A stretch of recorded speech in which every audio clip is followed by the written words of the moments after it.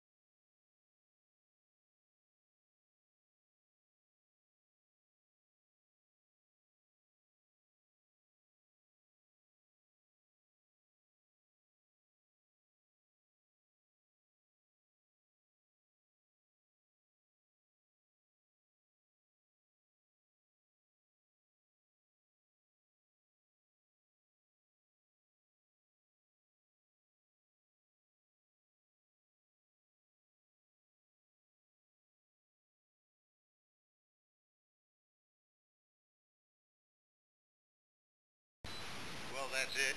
Please let me know what you think in the comments section. Bye now.